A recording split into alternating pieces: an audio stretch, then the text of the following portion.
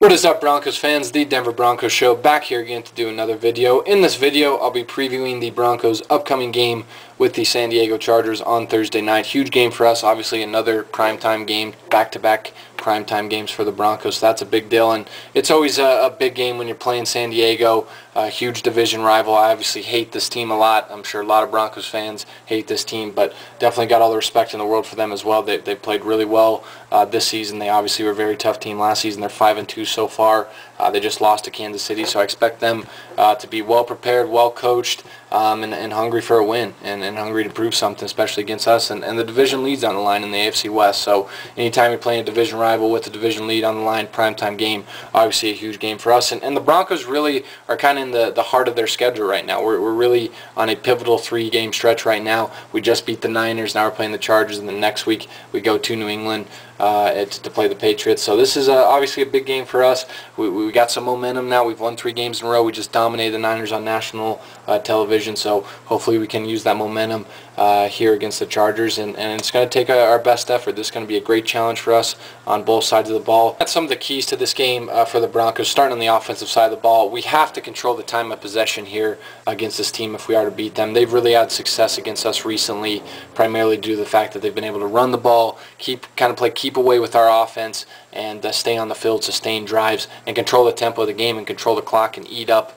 uh, the clock so that our offense really doesn't have many opportunities to score. We can't allow them uh, to do that here in this game if we want to win on Thursday night. we got to control the tempo of the game, force them to play fast, and control the clock and sustain drives, win on third downs. Um, we, we should be able to, to have some success on third downs against this defense. This is a, a very good Chargers defense, but they're not particularly good on third down. They're one they're pretty mediocre, and if we can get into some third and short situations in this game um, and sustain drives uh, on third down, that'll be big for our offense. Broncos also are going to have to uh, continue to be aggressive uh, through the passing game and, and through the air. This is one of the best uh, secondaries in the NFL today. They're one of the best passing defenses in the NFL right now. Uh, ironically, they're the third-ranked passing defense, and we're the third-ranked uh, passing offense currently. Um, this is just a, a, great secondary. They're young, they're physical, and they're feisty. You got Jason Verrett, their, their rookie first-round pick out of TCU. They got Shareece Wright, uh, Brandon Flowers, Eric Weddle, and Marcus Gilchrist at the safety positions. I mean, they're just a, a very dynamic group of defensive backs in San Diego. They're smart, they're they're well coached,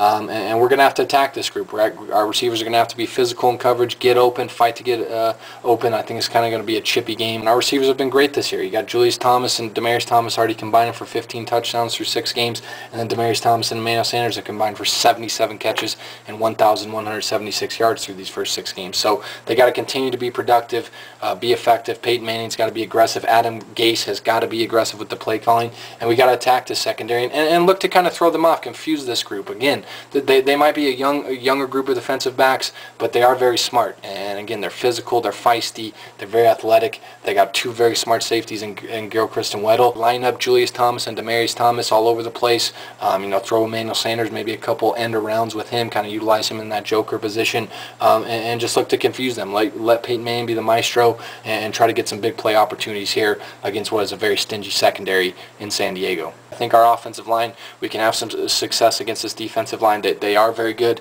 at getting to the passer uh, and, and, rushing the quarterback. Uh, they, they got two very good uh, young defensive ends and, in Corey Liuget and Kendall Reyes. They got Melvin Ingram. They got Dwight Freeney. So we got to protect Peyton Manning, obviously, but we got to be physical with this front seven. Our, our offensive line uh, has to continue to show improvements in the run block um, and, and kind of beat this uh, def defensive front uh, up interiorly. And I think we can have some success running the ball uh, kind of right at this defense and kind of running it right up the middle. Um, and, and, even I think uh, Hillman can have some success getting to the edge on this defense. But are a pretty fast group, so I think the Broncos uh, would be better set to kind of just look to attack this team up the middle interiorly. And, you know, Ronnie Hillman has shown an improved ability uh, to run between the tackles this season. He's been more physical with his running ability. He's been great in the last two games, having 38 carries, 174 yards, two touchdowns touchdowns, averaging 4.7 yards per carry. So hopefully Ronnie Hillman can, can continue that level of productivity, productivity up and again uh, run in between the tackles and kind of mash uh, this defensive line, just kind of go right at them up the middle.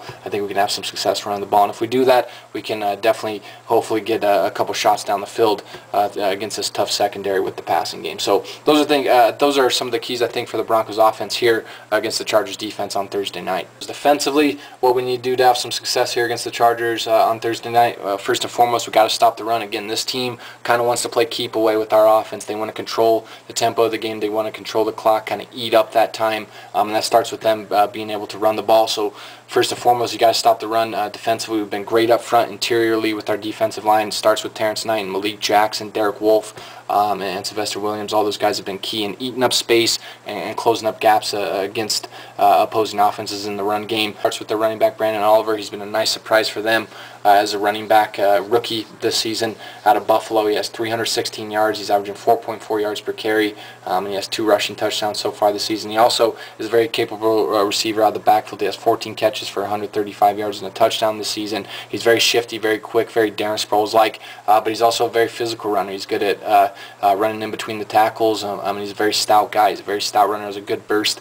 so, so we got to be ready for that. We got to match his physicality with our defensive line, our front seven, um, and, and, and kind of take advantage of what is a, a, weak interior offensive line for the Chargers. They lost starting center Nick Hardwick at the beginning of the season. He's out out uh, uh, for the year due to injury, um, and this is kind of a weak interior offensive line. So we gotta we gotta look to kind of beat them up interiorly, stop the run. Hearts up front with Pot Roast, Terrence Knighton, um, Sylvester Williams, getting getting that push up front and being more physical uh, than San Diego's interior offensive line. And obviously pressuring Philip Rivers is, is going to be huge uh, for our defense here. Um, and and if, if we want any chance at limiting this Chargers offense and kind of slowing them down here in this game, we're going to have to get to Philip Rivers and pressure him. He's obviously a guy that's had his fair share of success against the Broncos throughout his career with San Diego. Um, and he's been nothing short of amazing this year so far. He's already thrown for 1,961 yards, 17 touchdowns, only three interceptions. Um, he's completing 67% of his passes. He's just been great. Um, and, and he's done a great job of, of leading that Chargers offense. And, and, really kind of making a push for the MVP this year and, and has really been a huge reason why they are 5 and 2 right now. And he's a dangerous, dangerous quarterback. You give him time, um, he'll kill you and he'll make you pay. Um, he's a guy that you got to pressure. I think it starts with, with again, kind of taking advantage of what I, I feel is a weak interior offensive line uh, for the, the, the, San Diego Chargers. I think they have very solid tackles and King Dunlap and uh, DJ Fluker, but their interior offensive line, uh, I think we have a big advantage there with, with Terrence Knighton, with Sylvester Williams, uh, with Malik Jackson and Derek Wolfe. I, I, think if we can get those guys inside and, and look for them to kind of collapse the pocket interiorly, I think it's only going to make it easier for Von Miller and DeMarcus Ware one-on-one on the outside with Dunlap um, and Fluker and, and taking advantage of those two tackles. They're both, both very two big, physical, good tackles. Um, but I think Von Miller and DeMarcus Ware uh, easily can, can have success against them. Those two guys have obviously been huge. They've, they've been dominant over the past three games. They've already combined for 15 sacks this year. Um, and I think if we can kind of collapse the pocket interiorly, it's only going to make it uh, a lot easier for Von Miller and DeMarcus Ware to, to get to Philip Rivers. Philip Rivers is, is one of the best quarterbacks in the NFL at stepping up into the pocket. Uh, when the pocket starts to collapse, steps up in it, makes a throw. And he's also great at uh, making a throw uh, under pressure and, and, and knowing when he's going to get hit. He'll take a shot. He's a very tough competitor. So we're going to have to kind of beat him up consistently, get to him, maybe run a couple safety blitzes with TJ Ward, cornerback blitzes with Bradley Roby, uh, Chris Harris kind of mix it up there uh, to try to get to him, disguise some blitzes from Jack Del Rio. But really, if we can collapse the pocket interiorly uh, with, with Malik Jackson and, and, and Derek Wolfe rushing, uh, Philip Rivers up the middle, and Terrence Knighton, um, I, I think it's going to limit his opportunities to step up into the pocket and make throws, which he's so good at. A lot of people have talked about Julius Thomas's year at the tight end position, but Antonio Gates uh, is, is not uh, too far behind him. He's already got